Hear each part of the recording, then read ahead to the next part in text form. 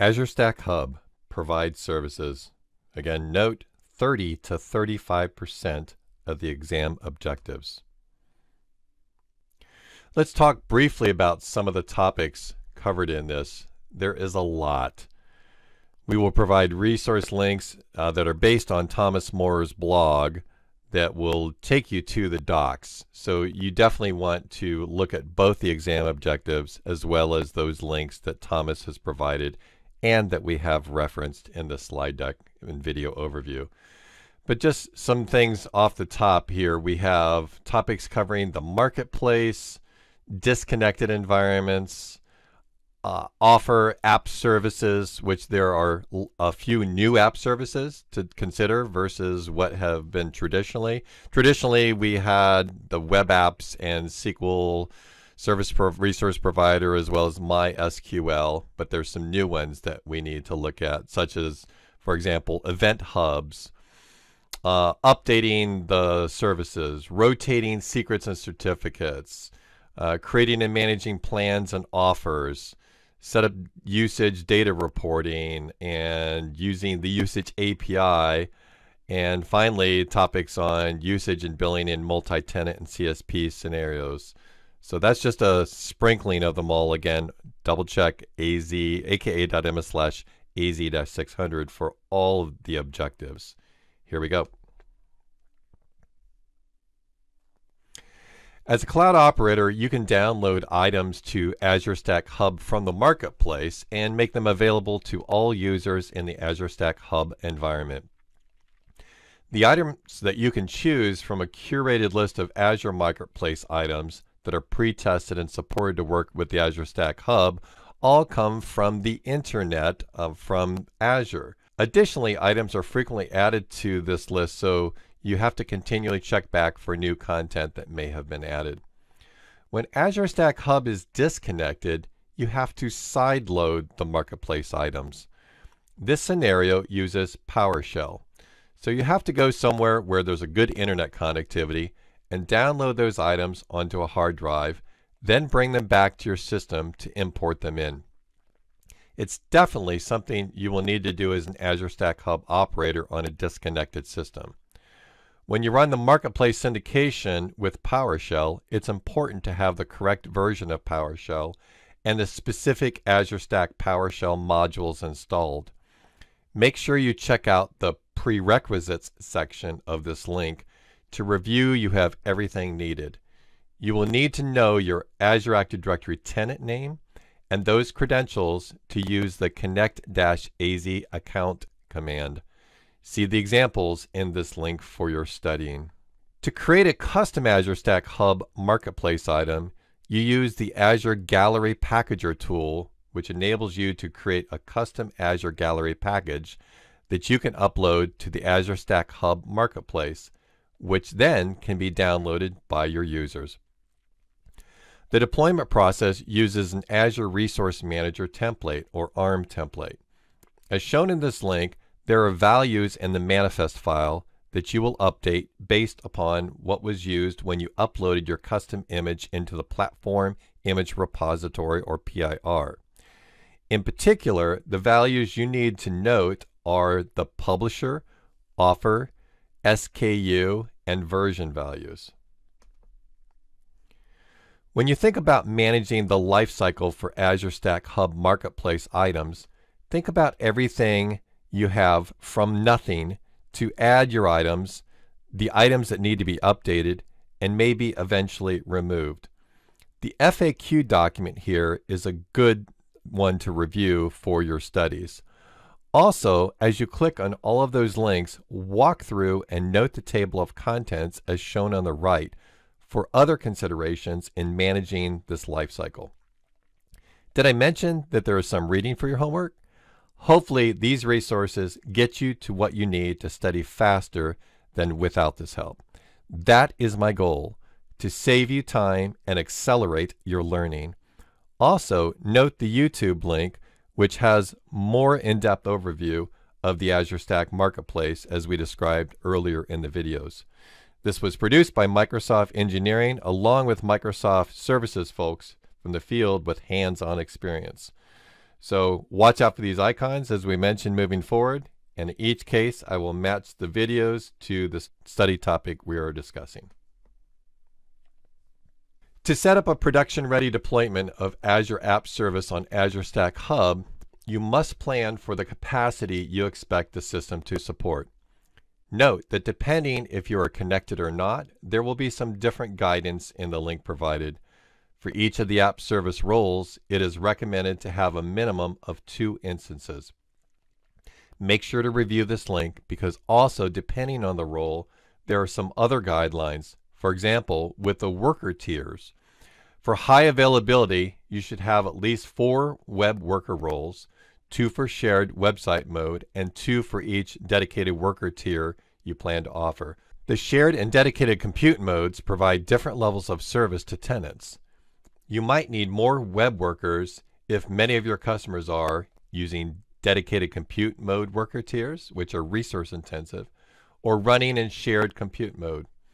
Additionally, to provide Azure functions to users in the consumption plan model, you must deploy shared web workers.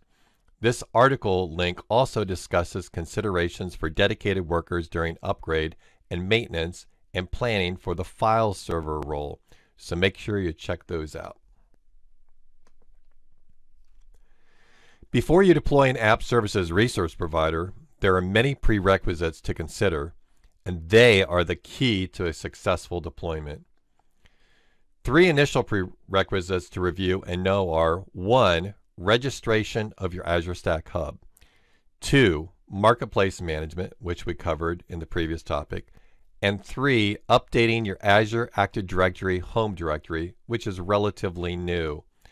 Know how to do these three things. Other callouts in the prerequisites link are knowing about what types of certificates are needed and also the requirements and preparation of both the file server and SQL servers that are used for app services. Finally, there are network and identity considerations. For example, how do you create a service principal for Azure Active Directory and for ADFS in the disconnected scenarios? If you don't know these things already, make sure you review the prerequisites link.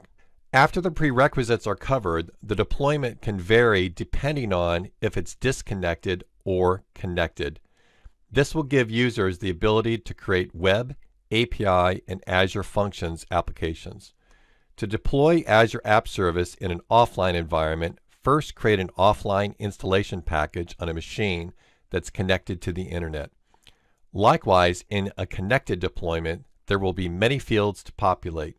Make sure you are familiar with what those options are in all of the screenshots as shown in the Deploy App Services link. One important post-deployment step is, to note is a possible NSG or network security group that may need to be configured for the file server. If you've never done that, please review that at the end of the same article. Again on this link, you will want to walk through the screenshots. Another call out to note is the connection method you wish to use, credential or service principal. Review the considerations and differences depending on the authentication method used and the subscription rights required. The four things to review on this link are the updating of the following. Encryption keys used within Azure App Service on Azure Stack Hub. Database connection credentials used by Azure App Service on Azure Stack Hub to interact with the hosting and metering databases certificates used by Azure App Service on Azure Stack Hub to secure endpoints and rotation of identity application certificates in Azure Active Directory or in Azure or in Active Directory Federation Services or ADFS. And fourth, system credentials for Azure App Service on Azure Stack Hub infrastructure roles. Azure App Services on Azure Stack Hub supports free and shared worker tiers by default.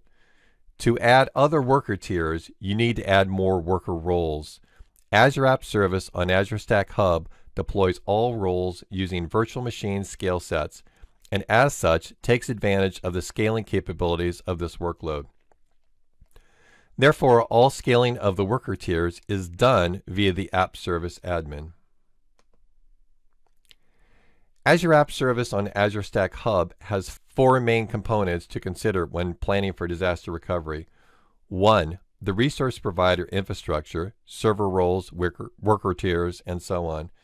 Two, the app service secrets. Three, the app service SQL Server hosting and metering databases. Four, the app service user workload content stored in the app service file share. Make sure to review these links to understand what parts can be done in the portal versus in PowerShell.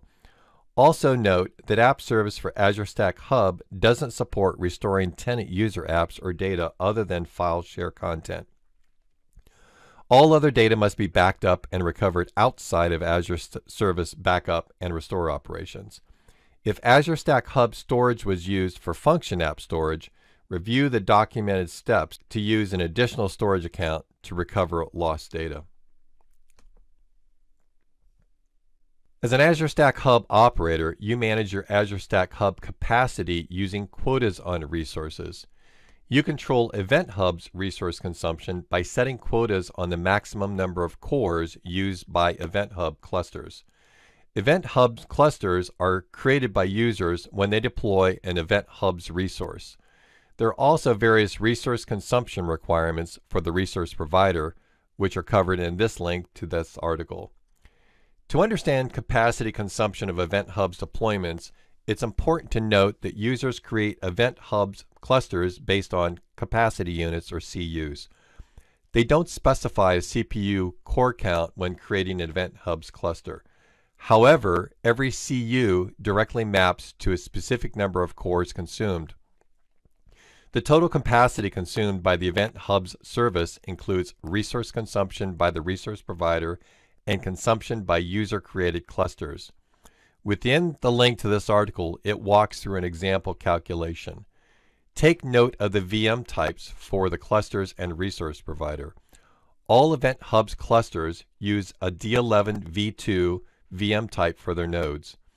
A D11 V2 VM type consists of two cores. So one CU Event Hub's cluster uses five D11 V2 VMs, which translates into 10 cores used. In determining the number of cores to configure for a quota, use a multiple of the total cores used by one CU. The resource consumption by the Event Hub's resource provider is constant and independent of the number of sizes of clusters created by users. The following table shows the core utilization by the Event Hub resource provider on Azure Stack Hub and the approximate resource consumption by other resources.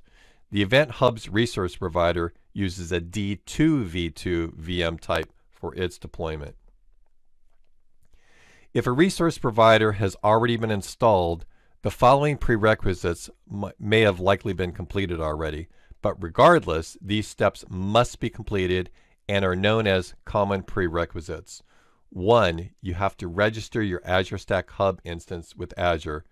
Two, marketplace syndication must have been completed. Three, the Azure Active Directory home directory must be updated. And then next, the public key infrastructure SSL certificates for Event Hubs must be procured. Review this link doc to know the specifics for the SAN naming convention. Before you can install Event Hubs on Azure Stack Hub, you must download the resource provider and its dependent packages using the Marketplace Management feature. For a disconnected or partially connected scenario, you download the packages to your local machine, then import them into your Azure Stack Hub Marketplace.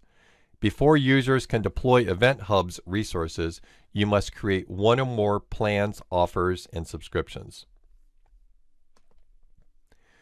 Resource providers installed from Marketplace will require regular servicing. Servicing is done by applying service updates provided by Microsoft on a regular basis. Updates can include both new features and fixes.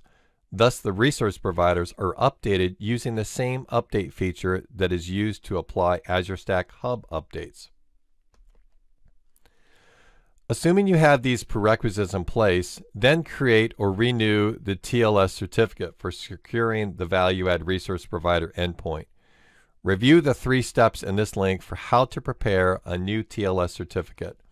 Finally, determine the resource provider's latest deployment properties and use them to complete the secret rotation process. With an elevated PowerShell console, you can determine the properties required to rotate the resource provider's secrets. Use the set-azs product secret commandlet to import your new certificate to Key Vault, which will then be used by the rotation process.